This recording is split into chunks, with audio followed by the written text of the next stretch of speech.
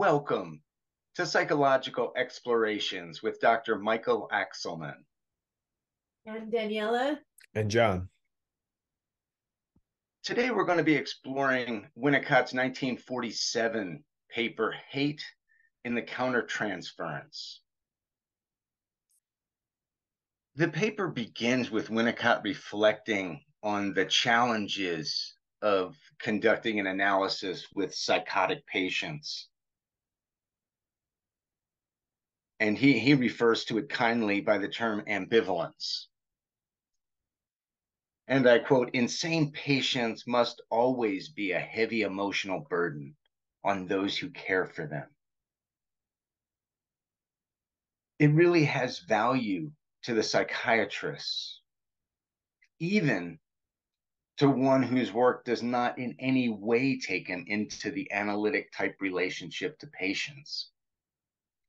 So, what we're talking about today really has broad value for not just therapists, but parents, educators, anybody who does close work with children and adults. He identifies ways of classifying countertransference phenomena. So, what is taking place between the patient and the therapist? And the countertransference is how the therapist is responding at any given moment to the patient. And he talks about abnormality in the countertransference related to repressed feelings and set relations and identifications. Certain aspects of the patient may remind us of somebody who we know well, who we may have challenges with, difficulties, and those become part of the identifications in the countertransference. The other side of the coin is the positive personality identifications and tendencies, which help provide the positive setting and the facilitating environment. And then he adds that truly objective countertransference while the other two are, are subjectively informed. The truly objective countertransference, the analysts love and hate in reaction to the actual personality and behavior of the patient. And he asks us to sort out and study his objective reactions to the patient.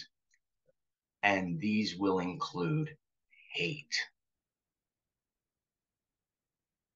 So in this relationship, there's a coincidence, okay, a, a co-occurring of love and hate, giving rise to problems of management, which can easily take the analyst beyond his resources.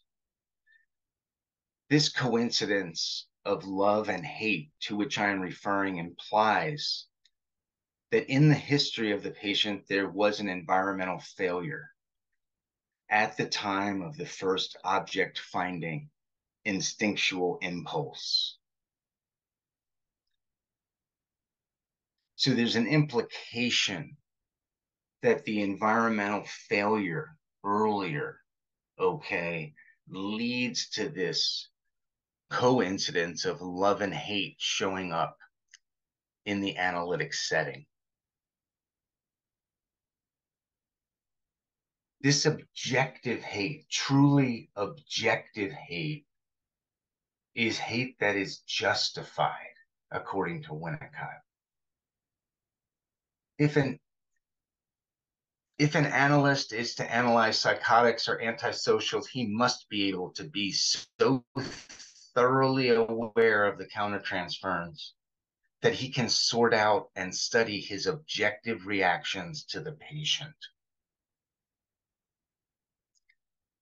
hate that is justified in the present setting has to be sorted out and kept in storage and available for eventual interpretation. The analyst needs to be able to hate objectively. Winnicott is giving us permission here to both feel hate and to feel justified in feeling the hate because of how we're being treated in this very specialized setting. Making others hate me for psychological relief. And here the enemy is made external. I quote here uh, where he's talking about a case that he had of a very bad obsession. It was almost loathsome to me for some years. I felt bad about this until the analysis turned a corner and the patient became lovable. And then I realized that his unlikableness had been an active symptom, unconsciously determined.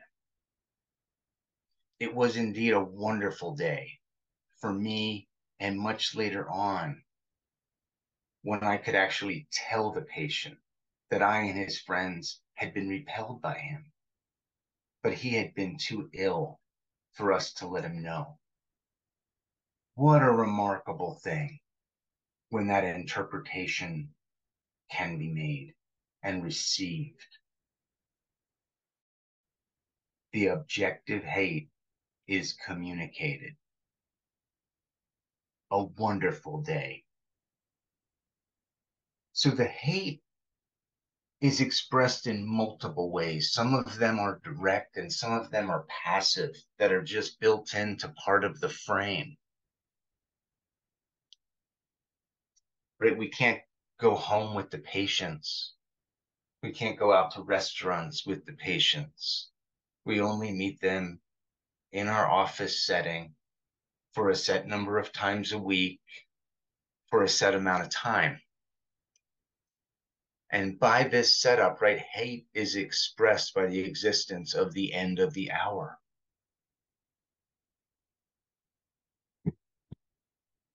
I'm here for you fully during this time. Yes, and that must be accepted. And that does engender hate.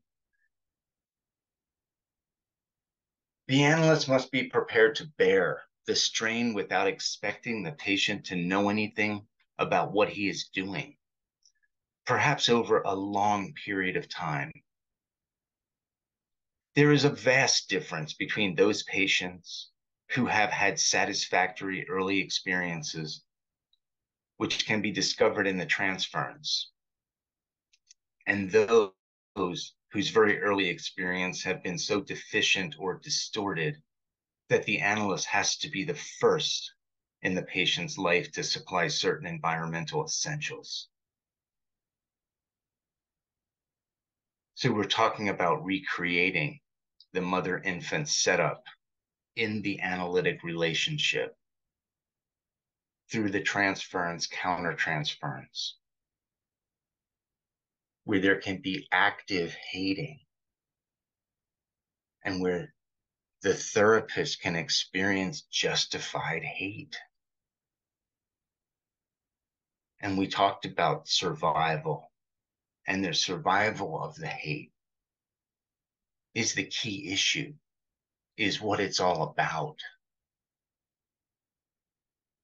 So, in this state in which there wasn't a good enough experience, the impingements were too great. The child, adult is left in a state of psychotic uh, confusion and unable to symbolize. Symbolization, the move into abstraction, is built upon the attachment.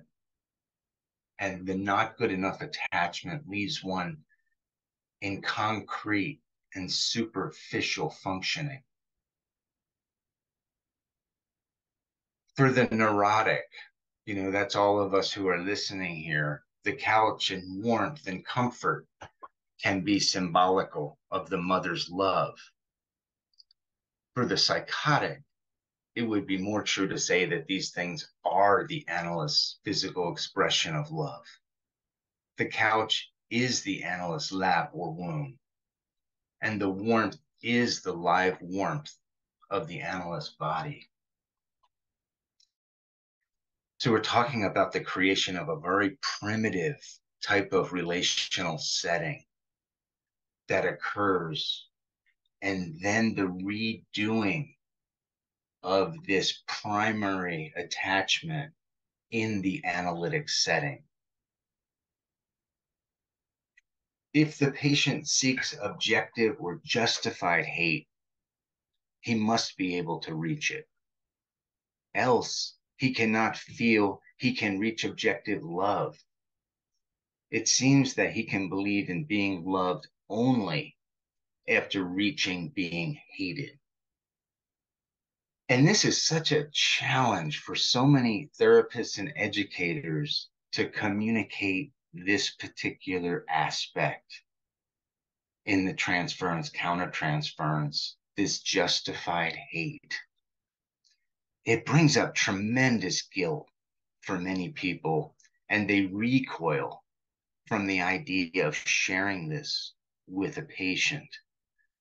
Some find the word hate to be just so strong that they can't even think about uttering this word. They feel that it's too strong and it may be damaging. I've never found this to be my case when sharing this with children. So, the particular analytic technique that gets identified by Winnicott is communicating hate and maintaining a low level of reactivity without a change in attitude. The important things is that each time, just as I put him outside the door, I told him something. I told him that what had happened made me hate him. This was easy because it was so true. Winnicott here is referring to a, a case that he actually took into his home for uh, months, three or four months, as a, a special type of therapeutic care. And um, he wrote about this case several times. And um, I think he looks back and sees it as kind of a, a not completely successful treatment. But the important part of the communication every time that the child went into a destructive way of relating and interacting and needed to be contained placed outside the door onto the you know the step of the front house and was able to come back in when he was ready. Winnicott communicated how much he hated the child when the child did this. I think you can report hate for the situation that the child creates and if hate's too strong and you need to word it with, I don't like it when you do this, that seems to be uh, to work as well, as long as there is this direct communication about how the adult is impacted, then it's real. If the adult pretends that it doesn't bother them and that everything's okay and the child's fine, they're just going through a little thing, and the information in the communication isn't fully received, the child stays stuck and just continues hating. When the hate is received and integrated, and the child feels understood that the hate is there and the parent is surviving, it brings so much love to the foreground it's tremendous. The child can really access how much they love the parent and communicate that love directly in words and deeds. So, in closing, Winnicott talks about this surviving of ruthless love and communicating the strain, okay, the hate that's experienced the most remarkable thing about a mother is her ability to be hurt so much by her baby and to hate so much without paying the child out, and her ability to wait for rewards that may or may not come at a later date. But I believe that an analysis is incomplete if even towards the end it has not been possible for the analyst to tell the patient what he, the analyst, did unbeknown for the patient whilst he was ill in the early stages.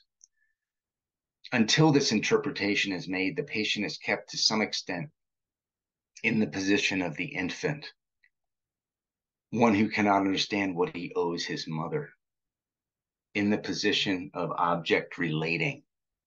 Yeah, into that place where he can't understand perspective. This is the conclusion of the first part of our discussion.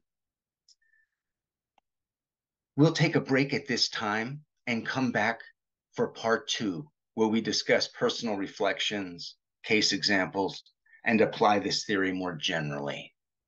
Thank you.